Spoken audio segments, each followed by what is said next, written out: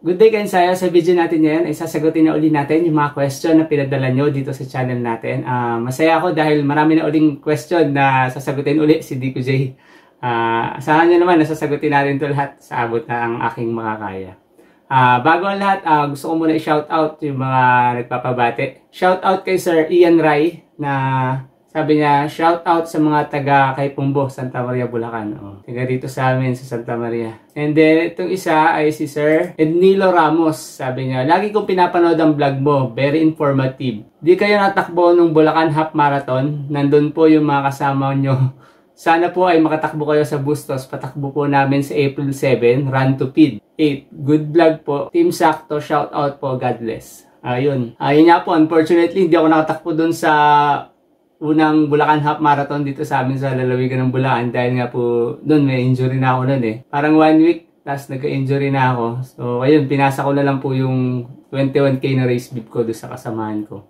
Kaya shout out po kay Sir Ednilo Ramos. Sana makalaro tayo dun sa patakbo nyo sa April 7 sa Run to Feed. Kaya yun, simulan na natin yung mga question. At Cat Portes, sabi niya, Hello sir, baka po may tips kayo ng Song 2 training. Salamat po. Uh, meron tayong video nito ng Zone 2 or ng Run. Isa yun sa mga medyo maraming views dito sa channel natin.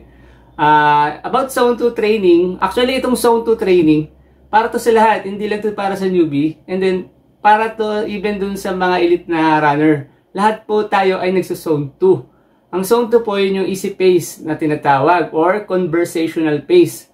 Uh, ito yung tipo ng pagtakbo na hindi tayo hinihingal, hindi tayo kinakapos sa hininga or kaya natin maipagkwentuhan dun sa kasamahan natin habang tumatakbo. Uh, ito dito sa zone 2, dito na de-develop yung puso natin. Uh, dito rin natin uh, made-develop yung mga yung leg strength natin tsaka endurance natin sa pagtakbo. Uh, sa totoo lang, mahirap itong zone 2. Mahirap dahil kailangan mo kontrolin yung sarili mo. Kailangan mong magpigil dun sa pace. Kailangan wag kang magpadala dun sa emosyon mo na gusto mong tumakbo ng mabilis. Dahil para talaga maging effective yung zone 2, kailangan is mag-maintain ka ng specific pace dun sa zone 2 na para sa iyo. So, uh, tayo magkakaiba po tayo ng uh, ng ano ng heartbeat sa zone 2. Uh, ah, depende po yun sa age. Meron pong computation na ginagawa dyan. Pero kung meron naman po tayong mga smartwatch or GPS watch, automatic po yun. Pag sinagutan natin yung information bago natin gamitin yung relo, uh, yun nga po, kailangan natin sagutan ng tama. Kailangan nyo nakabase sa age natin, nakabase yun sa height and then sa weight. Kaya kailangan uh, sagutin natin yun ng tama. Para maging accurate din po yung lalabas din sa relo nyo. Uh, hindi rin pwede kasi na kunwari yung relo ni ganon, hinira mo. And then, kasi yung lumalabas yun sa zone 2 ay eh, 144 bits per minute pababa. So, nagtataka ka dahil piling mo hindi naman yan yung zone mo. Uh, yun, kaya po mali yun. Mali yun. Dapat ay uh, iset natin dun sa corresponding na tamang edad natin. Sa zone 2, unti-unti dito, tiyagaan talaga ang zone 2 sa totoo lang. Dati na nang una nag-zone 2, ang pacing ko lang ng dati para ma-maintain yung 145 pababa ay around kulang 7 na pace para dun sa akin. Parang ganun. And then, eventually, unti-unti, napapababa ko na siya hanggang sa 630 pace kahit ahon siya or lusong yung ruta namin, nagme-maintain talaga ako ng zone 2. Nagso-zone 2 kahit yung mga elite. Nagkakaiba lang po yan sa intensity dahil syempre mas mas madali na sa kanila yung mga easy pace. So minsan makakita ka ng ano sasabihin, zone 2 nila is 4 or 4 medya. Eh, natural po yan, hindi po sila nagsasinungaling dahil maaaring elite level na sila. Next question natin ay galing kay Stone Post 1. What are your thoughts regarding compression socks for training and racing? Does wearing a hat help keep from overheating while training and racing? Salamat. Ako po, meron din ako compression socks pero most of the time, ang gamit ko po sa race tsaka sa training is compression calf sleeve. Bali yon ang main purpose po nun is nakaka-reduce talaga yon ng tension sa leg natin. Nagkakaroon din tayo ng better blood circulation, tapos nare-reduce din niya yung swelling or yung misan yung patig din sa legs natin. Ah, uh, yun nga, tatanong niyo kung bakit calf sleeve. Sa ko kasi meron din ako compression socks. Kaso nahihirapan talaga ako magsuot ng compression socks. Lalo na yung iba na, syempre mahaba kasi yun dahil bo, dahil socks. So, minsan nasa paa pa lang, yung suot mo yung paa mo, ang hirap nang ibatangin. Tapos lalo na pag yung papunta na dun sa may bandang calf muscle, mas nahihirapan ako siyang isuot. Unlike yung compression calf sleeve dahil putol siya. So, gumagamit ako iba ng socks. Oh. So, kakabit ko muna yung sleeves and then mas maikling socks ang gamit ko. Kaya para sa akin, mas convenient siya na mas isuot tsaka tanggalin. Mas madali siya para sa akin. Pero parehas lang naman sila ng purpose. So, yun nga, mas mas nagre-rely akong gamitin yung calf sleeve. Tsaka yun nga, dahil pag calf sleeve, syempre pwede mo siyang i-partner doon sa medyas na nakasanayan mo. Gaya ko, ang medyas ko, parang ka, pangkaraniwan is manipis lang. Uh, so isa pang question niya ay tungkol sa pagsusuot ng cap or sombrero. Makita niyo si Eliud Kipchoge na nakaraan sa Tokyo.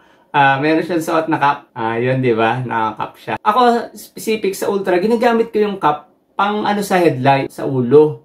Tsaka nakakatulong din yung cup para yung pawis mo, uh, wag agad tumulo sa mukha mo or sa mata mo. And di ko alam kung ano yung purpose ng mga elite kung ba't sila nakakap. O maaaring minsan sa init. So, pero syempre yung init naman doon sa Japan, doon kay Kipchoge, eh. malamig naman doon eh. Kaya naman tagalan. Next question natin ay galing kay at Mr. Rodman. Hi Idol Dico J, shout out po sa next bid. So, shoutout po pala kay Sir Mr. Rodman. Uh, last time, FB ako nagtanong. Dito naman, ha ha ha. Ano po ang tama since madaling araw ang kadalasan ng gun start, kaya talagang kulang sa tulog. So, after the race, dapat po magpahinga o matulog muna bago maligo. Dahil bawal daw maligo pag pagod. So yun, medyo crucial tong isasagot natin dito dahil kanya-kanya naman tayo ng opinion. Uh, para sa akin, ito lang naman yung opinion ko. Ako kasi dati, sasagutin ko muna, dati, kung maligo ako sa isang araw, tatlong beses, pagkagising ko, bago tumakbo, ligo. Pagdating sa bahay, after ng training sa umaga, ligo. Tapos, bago matulog sa gabi, ligo uli. Okay lang yun sa akin. Ang sasagot ko, kung noon ko to sinagot, ang sasagutin ko ay okay lang maligo pagkagaling ka sa, to, sa takbo. To, ito na yung opinion ko lang naman po dahil ito yung naranasan ko na. Pero nung time po na yun, dati, may mga, pag nakahiga ako sa higaan, minsan nararamdaman ko na yung leg ko, yung binti ko, para siyang kinukuryente, para siyang namamanhid. So, yun nga, dahil syempre sabi yan, syempre kasabihan, iba kasabihan lang yun ng matanda, yung pasma. Pero nung time na nararamdaman ko na siya, na talagang parang namamanhid siya, tapos nahiga ka, parang kinukuryente ko. Syempre nakakatakot yun, no? Bakit? Eh, dahil yun nga, may nararamdaman ako, yun, nagbawas na ako ng ligo. Sabi nga na iba sa akin, bakit ka ba maliligo ng maliligo? Pupunta ka lang naman sa uh, alaga mo. Dahil talaga naman po sa baka lang ako, sa mga alaga ng hayop ako pupunta pagkatapos ko mag-training. Yung iba naman sasabihin, maliligo ka na naman, matutulog ka lang naman, wala, naman, wala ka namang katabi sa pagtulog mo. Di ba, Aray? Uh, yun, kaya po noon, talagang almost 3 times a week, pag summer pa, tanda ko, apat na beso ako naliligo eh. Pero yun, talaga pong nung naramdaman ko, nagbawas na rin talaga ako ng ligo. Dahil feeling ko napapasma na yung leg ko. Tapos ngayon, wala na po akong nararamdaman ganun. Awa naman ng Diyos. Pero naliligo pa rin naman tayo. Pero yun nga, after the race, ang ginagawa ko lang po talaga after the race, yun nga, mag, magilamos. Dahil syempre talagang minsan nanlalakit ka na. And then yun nga, magpalit agad ng damit, magbawa ng underwear, magpalit ng, ng shorts, ng pangitaas. Yun, mas para po sa akin, mas okay na yon. And then, after siguro pagdating mo na ng bahay, kung well, well rested ka na, nakapahinga ka na, tsaka ka na siguro maligo. Kung pakiramdam mo eh, init na init ka pa rin or nanlalagkit ka. Next question natin ay galing kay Hanson Nasan. Coach, as lang ako if pwede mag-take ng melatonin tablet night before the race kasi di ako nakakatulog lalo na pag kinabukasan ng race. Goods ba yun? Um, ang melatonin po, eh, isa yun sa parang, kung ano, parang, parang kapatid siya ng sleeping pills. Parang ganun siya. May mga product po talagang binibenta na over-the-counter na yun, na may melatonin. Um, ang melatonin, yun nga, pag uminom ka, talagang naantokin ka po talaga doon. Ang mapapayo ko lang dito, siguro bago natin to gawin sa mismong actual na race na kinabukasan, kunwari kinabukasan na yung race natin, gamitin muna natin to mga one week before testingin natin since kailangan naman natin mag-impact ng tulog dun sa paparating na one week bago yung event. Uh, tingin ko, testingin muna natin na kunwari, uminom ka nito sa gabi, and then ano yung pakiramdam mo? Sa kinabukasan, kunwari, gumising ka ng madaling araw, kunwari, kailangan mo na magbiyahe ng alas 3. Ano yung pakiramdam sa body mo? Yun ang tanong, di ba? So, kung antok na antok pa, pagdating ng alas 4 or mga pagkaraniwan kasi sa gun start ng mga 21K, 4.30 eh. O yun, pag piling mo eh, antok na antok ka pa, so maaaring hindi ko ma-advise sa'yo na gamitin mo yun. Dahil baka mamaya hindi ka naman magising. Baka yung alarm mo na dapat gabangon ka na ng nari, mga alas 2 or alas 3 para magbiyahe papunta doon sa event. Baka mamaya tulog na tulog ka pa, pagising mo umaga na. Kaya para sa akin, safe siya naman siyang gamitin, pero dapat testingin muna natin kung ano yung magiging epekto nito sa body natin bago yung actual na race day or race night. Baka mamaya, yun nga. O kaya naman, baka feeling mo dun sa pakaramdam mo, dun sa mismong laro na is nan, nanlalata ka pa.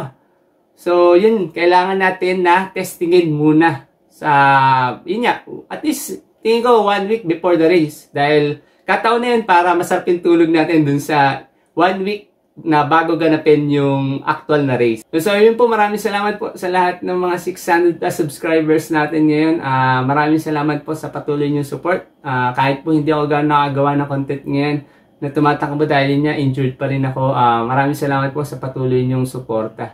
Kung nagustuhan niyo po yung mga ganitong content, sana patuloy niyo po ako supportan. Paki-subscribe, paki-like, Paki-comment po yung mga tanong nyo at saka paki-share na rin po itong video natin sa mga running friends natin para po lalo pang lumaki yung running community natin. Maraming po salamat sa lahat-lahat. God bless. Ingat po sa mga runs nyo.